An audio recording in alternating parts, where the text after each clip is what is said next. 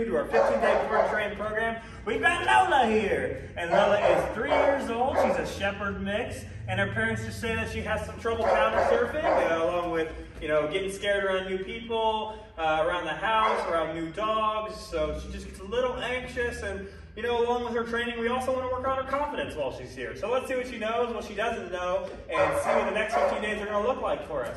Hey, Lola, come. Come. Come, good girl. Lola, come. Come, good girl. How's it? Come down. All right. Lola, come. Come. Lola, sit. Oh, look at that good sit. Look at that good sit. Yeah, good girl. Lola, can you place? Place. Place. Lola, come. Lola, place. Well, that's a place. Good girl. You're doing great. All right, can you go for a walk? Let's go for a walk. Whoa, that's a problem. All right. Oh, good girl. Oh, come on. Let's go. Let's go. Oh, man, she's full of energy. Oh, my goodness. And she doesn't have a lot of structure on that walk, but we can fix that. Oh my, she's just a ball of energy. She's gonna be so much fun to work with, and I can't wait to start. You can check up on her progress on our social media.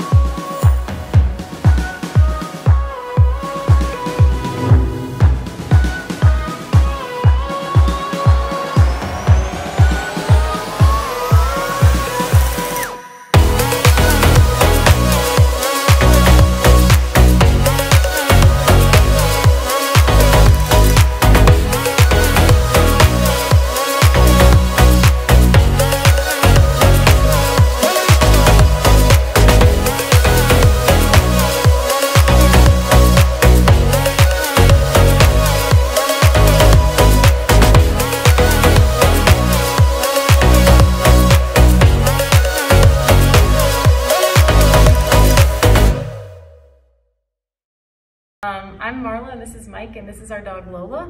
And we heard about Bulletproof through a couple of our friends who used you guys uh, to train their dog. And we decided that it was time to train Lola because we were having some issues with her just paying attention to commands and overall with her focus. She seemed to be focused on everything and never really on us. And so we wanted to get a little bit more control over her behaviors. And so we brought her here so that we could um, we could help her do that so that we would have a better communication with her. Uh, overall, the training, I think we really appreciated all of the updates from Shay. We got lots of videos, um, several phone calls just to let us know, especially for me because I was really worried about leaving her for so long. Um, it was nice to have a lot of contact with Shay and to be able to uh, get updates and find out how she was doing. And then um, today, getting to be re reunited with her was uh, really great. It's so good to see her.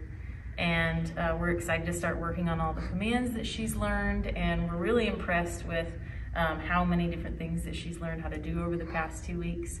And we're really looking forward to working more with her. So um, from both of us, I think we want to say a big thank you to you.